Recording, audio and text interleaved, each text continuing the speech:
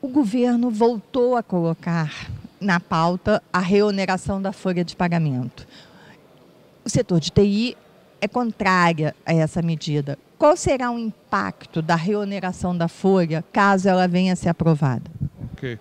Bom, isso foi uma luta intensa ano passado. Nós mostramos com números, estudos né, muito bem elaborados para o governo o, o, o impacto imenso que isso teria negativo para as empresas e para o setor de maneira geral. Né? Hoje nós estimamos, como nós já havíamos falado no passado, que muitas empresas não aguentam essa, esse custo. As margens não são assim tão, eh, tão largas para que se suporte a volta desse custo, é porque as empresas se adaptaram a essa, essa nova realidade que representou um aumento considerável de custo, a seletização do setor, todos fizeram seu papel. Com isso, nós conseguimos gerar receitas adicionais para o governo mostramos isso nos nossos estudos. O impacto é tremendo, porque ele é diretamente sobre os empregos. Então, empresas que não vão suportar essa medida, esse custo, elas eh, vão ter que tomar a decisão de demitir. E isso vai causar um impacto tremendo. Nós estamos projetando aí mais de 83 mil postos de trabalho nos próximos três anos. Isso é 15% do, do, do, da força de trabalho do, do setor de TI. Então, o impacto é terrível para as pessoas e para o segmento, de maneira geral. Governo não trata TIC como uma prioridade nacional aqui no Brasil. Isso, é um, isso não é um equívoco nesse momento que a transformação digital é global? Olha, é um equívoco tremendo, né? porque o mundo inteiro está se inovando, né? está se renovando. E ele está se renovando através da tecnologia.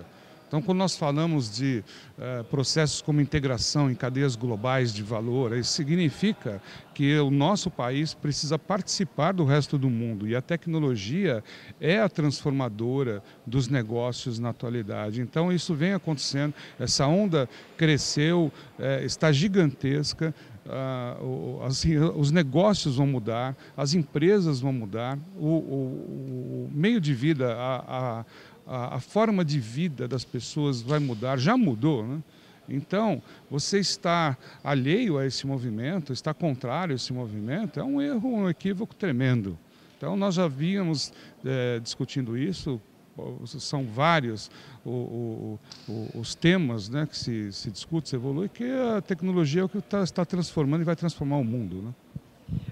Falando em transformação digital, como é que a prestadora de serviços de TI está se adequando a essa nova era?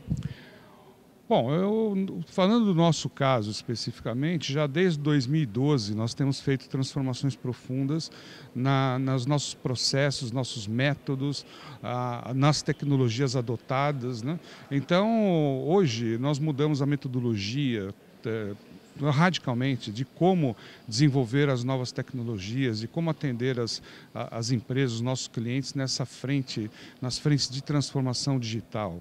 Nós estamos hoje com é, métodos ágeis, é, renovados, inclusive, que ajudam as empresas a entrarem rapidamente nessas novas tecnologias e levarem os seus produtos e serviços para essa nova plataforma. Né?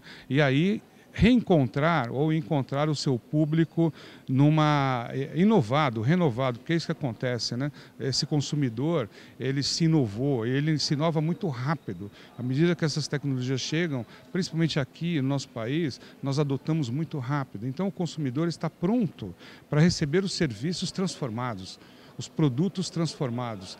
Então, o que nós temos que fazer é ajudar os nossos clientes a fazerem essa transformação. Né? Nós mesmo agora estamos indo com clientes né, para, para um curso né, de formação lá no INSEAD para eh, ajudá-los a se preparar para esse momento todo de transformação digital e criarem a cultura de inovação dentro das empresas. Então, uma das coisas que nós fazemos, nós nos preparamos e até na nossa área de RH para prestar esse serviço e introduzir a cultura de inovação dentro das empresas. Então, é, esse é o nosso papel. O nosso papel é ser parceiro, é ajudá-los a virar essa, essa página e entrar nessa nova era. A Stefanini é uma das poucas empresas brasileiras com atuação global. O que, que falta para ter mais empresa brasileira global? Eu acho que as empresas precisam ah, abraçar as oportunidades. Né? Acho que uma grande oportunidade, eu sempre comento isso, foi 2010, 2009. No meio daquela crise, nós tínhamos uma oportunidade imensa de internacionalizar.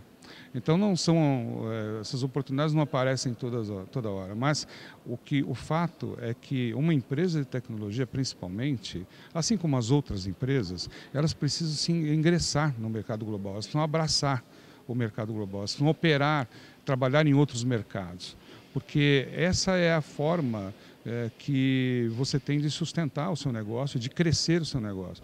Não, não podemos nos limitar às nossas fronteiras. Né? Então, um mundo globalizado como o nosso, ele, ele gera um intercâmbio muito forte. Então, essas, é, essa, esse processo de internacionalização, ele ajuda a evoluir a sua empresa como um todo, te ajuda a acelerar a adoção de tecnologias, te ajuda a acelerar uh, processos de, de, de serviços e, e, atendimento. Então, é, eu acho fundamental as empresas se internacionalizarem.